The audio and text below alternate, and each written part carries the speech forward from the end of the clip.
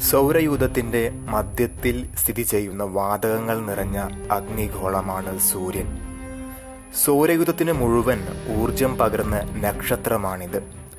ഭൂമിയുടെ നൂറ്റി ഒൻപത് ഇരട്ടി വ്യാസമുള്ള സൂര്യന് ഒന്ന് പോയിന്റ് നാല് മില്യൺ കിലോമീറ്ററാണ് വ്യാസം.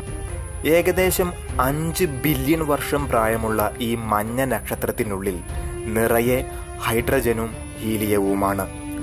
ഫോട്ടോസ്ഫിയർ എന്ന സൂര്യന്റെ ദൃശ്യമായ പ്രതലത്തിലെ താപനില ഏകദേശം അയ്യായിരത്തി അഞ്ഞൂറ് ഡിഗ്രി സെൽഷ്യസ് ആണ്. ഫോട്ടോസ്ഫിയറിൽ കാണപ്പെടുന്ന തണുത്തിരുണ്ട വാതക ചുഴിയാണ് സൂര്യകളങ്കം സൂര്യന്റെ ഉപരിതലത്തിൽ സംഭവിക്കുന്ന മറ്റു പ്രവർത്തനങ്ങളാണ് ഫ്ലയറും പ്രോമിനൻസും.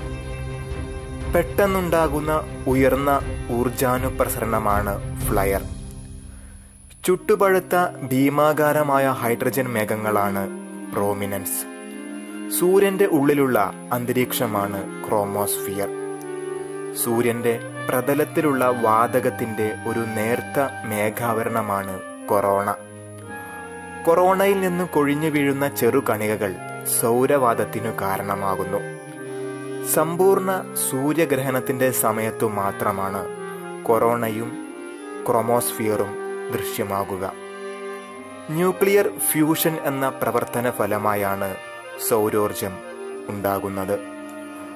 ഭൂമിയിൽ നിന്നും സൂര്യനിലേക്കുള്ള ഏകദേശ ദൂരം നൂറ്റി ഒൻപത് പോയിന്റ് ആറ് മില്യൺ കിലോമീറ്ററാണ്.